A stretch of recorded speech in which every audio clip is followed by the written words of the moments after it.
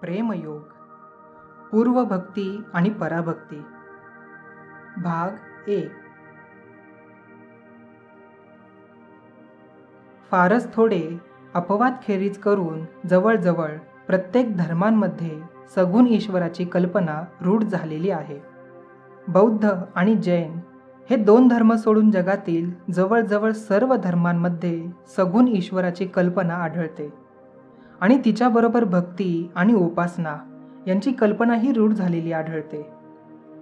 जरी बौद्ध आणि जैन धर्मांमध्ये सगुण ईश्वराची कल्पना नाही तरी त्या धर्मांचे अनुयायी आपल्या धर्माच्या संस्थापकांची सगुण ईश्वराप्रमाणेच उपासना करताना दिसून येतात.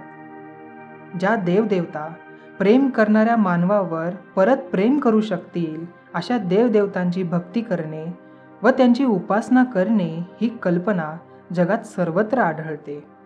निरनिराळ्या धर्मात हे प्रेम व भक्ती निरनिराळ्या प्रमाणात व निरनिराळ्या अवस्थांमध्ये व्यक्त झालेली दिसून येते. सर्वात खालची अवस्था म्हणजे कर्मकांड होय. या अवस्थेत सूक्ष्म कल्पना करणे जवळजवळ अशक्य असते. म्हणून या कल्पना अगदी खालच्या पातळीवर आणून त्यांना मूर्त व स्थूल रूप देण्यात येते. मग अनेक प्रकारचे बाह्य अनुष्ठानांची उत्पत्ती होते आणि त्यांच्याबरोबर अनेक प्रतीके निर्माण होतात. सबंध जगाचा इतिहास आपण तपासून पाहिला तर आपल्याला असे आढळून येते की विचारांची स्थूल रूपे किंवा प्रतीके यांच्याद्वारेच मनुष्य सूक्ष्म तत्वांचे आकलन करण्याचा प्रयत्न करीत आलेला आहे. धर्माच्या सर्व बाह्य अंगाचा घंटानाद संगीत अनुष्ठाने ग्रंथ आणि मूर्ती या सर्वांचा त्यामध्ये समावेश होतो. आपल्या इंद्रियांवर जिचा प्रभाव पडतो किंवा सूक्ष्माला सूक्ष्म रूप देण्याच्या बाबतीत मानवाला जिची मदत होऊ शकते अशी कोणतीही वस्तू घेऊन तिच्याद्वारे उपासना करण्यात येते. प्रत्येक धर्मामध्ये सर्व काळी असे धर्मसुधारक होऊन गेले आहेत की ज्यांनी सर्व प्रतीके व अनुष्ठाने यांना विरोध केला आहे. परंतु त्यांचा हा सारा विरोध फुकट गेलेला आहे. कारण जोपर्यंत मानवी स्वभाव आहे तसाच राहील तोपर्यंत बहुसंख्य लोकांना कोणत्या ना कोणत्या स्थूल वस्तूचा आधार नेहमी घ्यावाच लागणार आहे. आपल्या कल्पनांचा आधार म्हणून आपल्या विचारांचा मूर्त आधार म्हणून या स्थूल वस्तूंची आवश्यकता बहुसंख्य लोकांना सर्वदा राहणारच आहे. मुसलमानांनी आणि प्रॉटेस्टंट पंथाच्या लोकांनी ही अनुष्ठाने नाहीशी करण्याचा कसून प्रयत्न केला असला तरी आपल्याला असे आढळून येते की त्यांच्या धर्मामध्येही अनुष्ठाने शिरलेली आहेत. ही अनुष्ठाने टाकून देता येणे शक्य नाही. फारच धडपड केली तर बहुजन समाज फार फार तर एक प्रतीक बदलून दुसरे घेईल. एवढेच. मुसलमान लोक इतर धर्मातील अनुष्ठाने विधी प्रत्येक प्रतिमा यांना पापात्मक मानतात. पण जेव्हा ते आपल्या काबा नामक पवित्र स्थानी जातात तेव्हा त्यांना स्वतःचे हे कृत्य पापात्मक वाटत नाही. धार्मिक प्रवृत्तीचा मुसलमान कुठेही नमाज पडत असला तरी त्याला कल्पना करावी लागते की आपण काबा मशिदीत उभे आहोत. तो ज्यावेळी तिथे यात्रेकरू म्हणून जातो त्यावेळी त्या पवित्र मशिदीच्या भिंतीमधील काळ्या दगडाचे त्याला चुंबन घ्यावे लागते. ज्या दगडावर लाखो यात्रेकरूंच्या चुंबनाचे जे ठसे उमटले असतील ते सारे शेवटच्या न्यायदिनी त्या सर्व श्रद्धाळू लोकांच्या वतीने त्यांचे कल्याण व्हावे म्हणून साक्ष देतील. तसेच त्या ठिकाणी झमझम नावाची एक विहीर आहे. मुसलमानांचा असा विश्वास आहे की जो कोणी त्या विहिरीमधून थोडेसे पाणी बाहेर काढेल त्याला पापांबद्दल क्षमा मिळेल. आणि न्यायदिनानंतर त्याला नवीन देह प्राप्त होईल व तो अमर होईल. दुसऱ्या काही लोकांच्या बाबतीत ही प्रतीके इमारतींच्या रूपात दिसून येतात. प्रॉटेस्टंट लोकांच्या मते चर्च हे दुसऱ्या कोणत्याही स्थानापेक्षा अधिक पवित्र असते. त्यांच्या पक्षी चर्च हे एक प्रतीक बनून जाते. तसेच त्यांचे दुसरे प्रतीक ग्रंथ वा बायबल हे आहे. त्यांना हा ग्रंथ दुसऱ्या कोणत्याही प्रतीकापेक्षा अधिक पवित्र वाटतो. प्रतीकांच्या उपयोगाविरुद्ध प्रचार करणे हे व्यर्थ आहे. आणि त्यांच्या विरुद्ध आपण प्रचार का करावा? माणसाने प्रतीकांचा उपयोग का करू नये याचे काही कारण दिसत नाही. त्या प्रतीकांच्या मागे काही कल्पना असतात. त्यांचे प्रतिनिधी म्हणून ही प्रतीके लोकांना हवी असतात. हे विश्व म्हणजे एक प्रतीकच आहे. आणि त्याच्याद्वारे त्याच्या पलीकडे वा त्याच्या पाठीमागे विद्यमान असलेली वस्तू समजून घेण्याचा आपण प्रयत्न करीत आहोत. आत्मा हे आपले ध्येय आहे जड द्रव्य नव्हे. मूर्ती घंटानाद मेणबत्त्या ग्रंथ मंदिरे वगैरे सर्व पवित्र प्रतीके ही फार चांगली आहेत. आध्यात्मिकतेच्या वाढत्या रोपट्याला त्यांचे फार सहाय्य होते. पण यापेक्षा त्यांचा अधिक उपयोग नाही. अधिकांश ठिकाणी आपल्याला असे आढळून येते की रोपट्याची पुढे पुढे वाढ होतच नाही आहे एखाद्या संप्रदायात जन्माला येणे हे फार चांगले पण त्या संप्रदायातच मरण येणे हे फार वाईट आहे. आध्यात्मिकतेच्या लहानशा रोपट्याला ज्यांची मदत होईल अशा काही अनुष्ठानांच्या मर्यादित क्षेत्रात एखाद्याचा जन्म झाला तर ती फार चांगली गोष्ट आहे. पण जर या मर्यादित क्षेत्रातच त्याला मरण आले तर त्याचा अर्थ असा की त्या माणसाची प्रगती झालेली नाही. त्याच्या आत्म्याचा विकास झालेला नाही. म्हणून जर कोणी असे म्हणेल की प्रतीके विधी अनुष्ठाने ही अखेरपर्यंत चालू ठेवावी तर त्याचे म्हणणे चुकीचे ठरेल. पण जर तो असे म्हणेल की ही अनुष्ठाने व प्रतीके आत्म्याच्या खालच्या अविकसित अवस्थेत आत्म्याच्या विकासाला पोषक ठरतात तर त्याचे म्हणणे बरोबर ठरेल. परंतु आत्म्याचा हा विकास बौद्धिक स्वरूपाचा आहे असा आपण गैरसमज करून घेता कामा नये. एखादा मनुष्य प्रचंड बुद्धीचा असू शकेल परंतु आध्यात्मिक क्षेत्रात तो एखाद्या बालकासारखा असू शकेल. या क्षणी आपण या गोष्टीचा प्रत्येक घेऊ शकाल. सर्वव्यापी ईश्वरावर विश्वास ठेवण्याविषयीची शिकवण तुम्हा सर्वांना मिळालेली आहे. या सर्व व्यापित्वाचा विचार करण्याचा नुसता प्रयत्न करा. सर्व व्यापित्व म्हणजे काय याची तुमच्यापैकी किती थोड्यांना कल्पना असेल? तुम्ही जर फारच प्रयत्न केला तर महासागर आकाश हिरवागार विस्तीर्ण भूभाग किंवा वाळवंट यांसारखी काहीतरी कल्पना तुमच्यासमोर उभी राहील. ही सारी भौतिक स्वरूपाची प्रतीके आहेत. आणि जोपर्यंत तुम्हाला सूक्ष्म हे सूक्ष्म म्हणून अमूर्त हे अमूर्त म्हणून ग्रहण करता येत नाही तोपर्यंत या मूर्त आणि जड प्रतीकांचा तुम्हाला आश्रय घ्यावा लागणारच. ही मूर्त प्रतीके मनाच्या आत असोत वा मनाच्या बाहेर असोत त्यामुळे फारसा फरक पडत नाही. आपण सारे जन्मतःच मूर्तीपूजक आहोत. आणि मूर्तीपूजा ही चांगली गोष्ट आहे कारण तो मानवाचा स्वभाव धर्म आहे. मूर्तीपूजेच्या पलीकडे कोण जाऊ शकेल? केवळ पूर्ण मानव वा देव मानव यांनाच ते शक्य आहे. बाकीचे सारे मूर्तीपूजक आहेत. जोपर्यंत आकृतींनी व रूपांनी भरलेले हे विश्व आपल्याला दिसत राहील तोपर्यंत आपण सारे मूर्तीपूजकच राहणार. हे विश्व म्हणजे ज्याची आपण पूजा करीत आहोत असे एक महान प्रतीक आहे. मी शरीर आहे असे जो म्हणतो तो स्वतःच मूर्तीपूजक असतो. आपण आत्मस्वरूप आहोत. आत्म्याला रूप आकार काही नाही. तो अनंत आहे जड वस्तू नव्हे. म्हणून जो सूक्ष्माचे व अमूर्ताचे आकलन करू शकत नाही जो आपल्या खऱ्या स्वरूपाचा विचार करू शकत नाही तर फक्त जड देहाच्या द्वारेच तो स्वतःच्या स्वरूपाचा विचार करू शकतो तो मूर्तीपूजकच असतो. अशी वस्तुस्थिती असताना देखील एकमेकाला मूर्तीपूजक म्हणून लोक आपापसात कसे भांडत असतात? दुसऱ्या शब्दात सांगायचे तर प्रत्येकजण असे म्हणतो की माझीच मूर्ती तेवढी बरोबर आहे आणि दुसऱ्यांच्या सर्व मूर्ती वाईट आहेत. म्हणून या बालिश कल्पना आपण सोडून दिल्या पाहिजेत. अशा कल्पना करणाऱ्या लोकांची वायफळ बडबड आपल्याला बाजूला सारून आपण पुढे गेले पाहिजे. अशा लोकांना वाटते की धर्म हा केवळ पोकळ शब्दांचा बनलेला आहे. त्यांना वाटते की धर्म म्हणजे काही सिद्धांताचा समुच्चय होय. बौद्धिक संमतीला वा असंमतीलाच ते धर्म समजतात. आपले धर्मगुरू जे काही सांगतात त्यावर नुसता विश्वास ठेवणे म्हणजे धर्म होय असे त्यांना वाटते.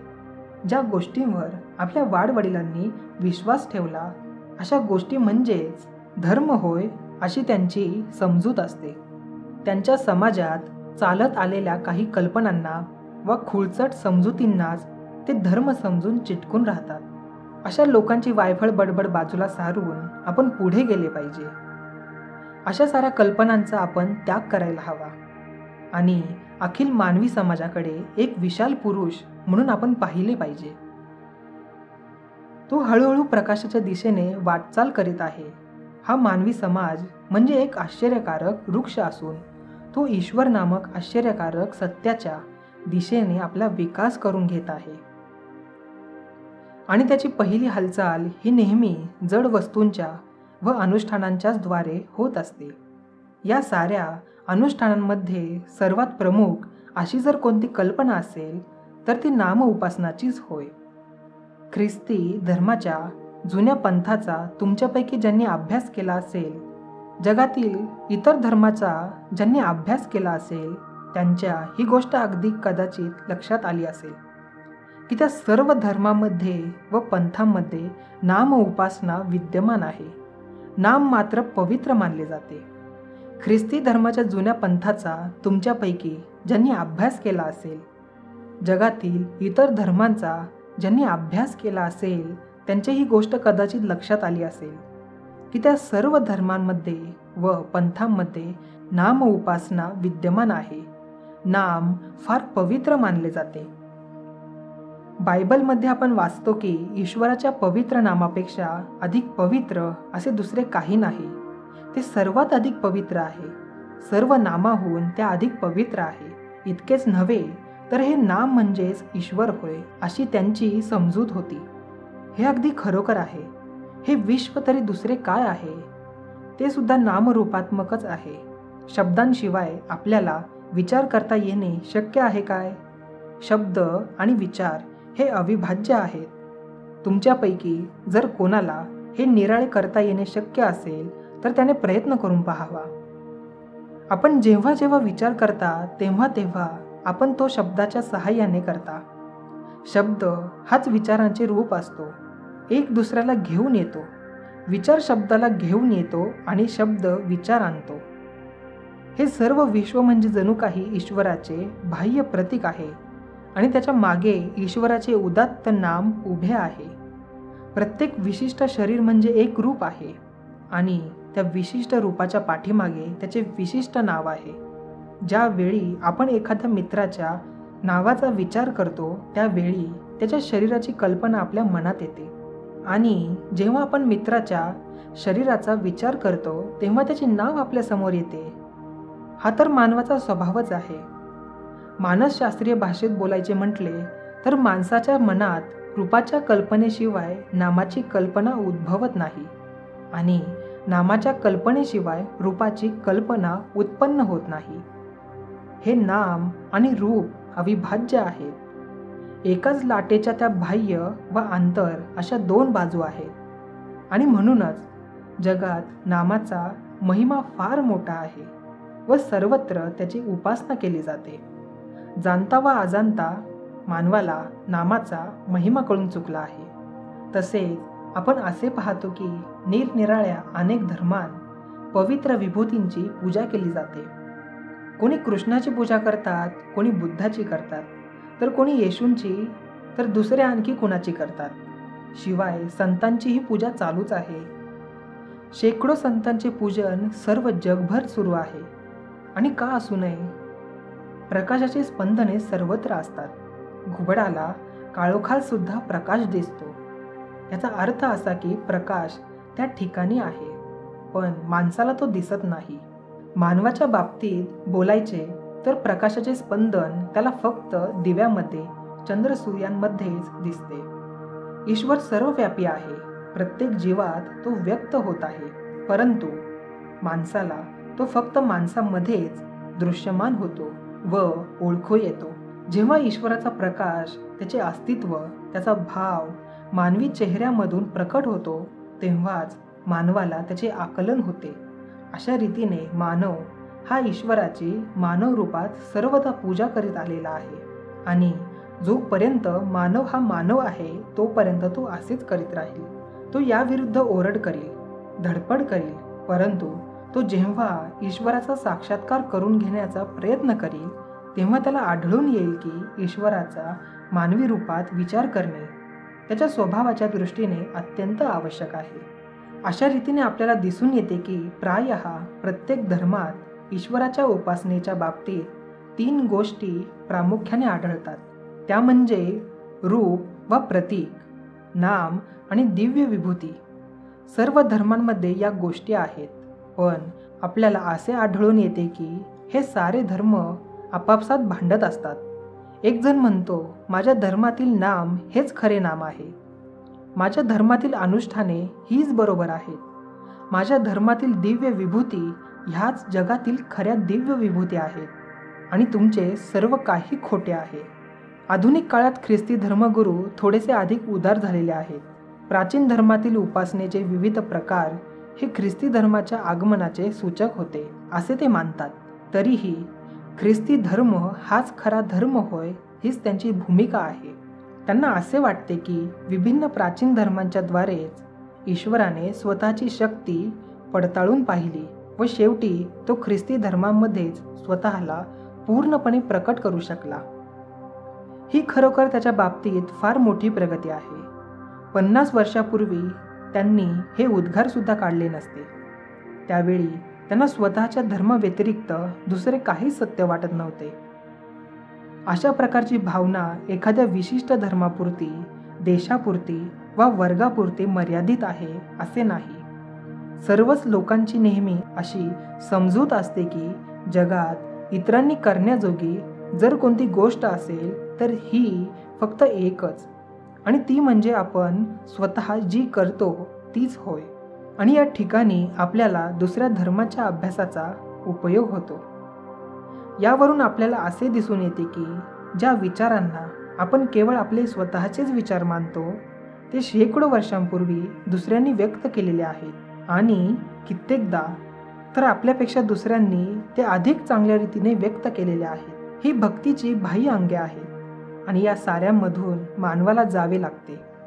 परंतु जो प्रामाणिक असेल त्याला सत्यप्राप्तीची जर खरी तळमळ असेल तर तो या सर्वांच्या पलीकडे जाईल व अशा उच्च भूमिकेवर पोहोचेल की जिथे बाह्य अंगांचे काहीच मूल्य राहणार नाही.